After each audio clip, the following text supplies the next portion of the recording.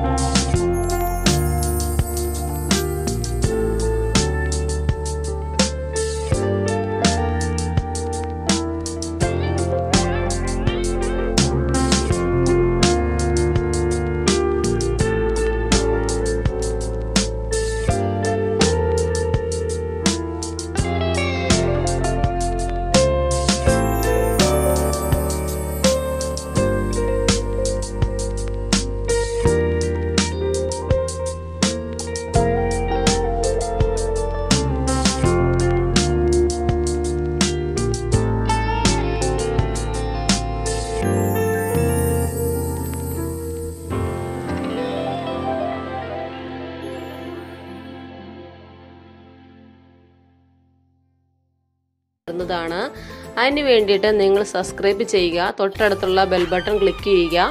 അപ്പോൾ ഞാനിടുന്ന വീഡിയോയുടെ നോട്ടിഫിക്കേഷൻ നിങ്ങൾക്ക് ലഭിക്കുന്നതാണ്. അപ്പോൾ നമുക്ക് അടുത്ത വീഡിയോയുമായി വീണ്ടും കാണാം.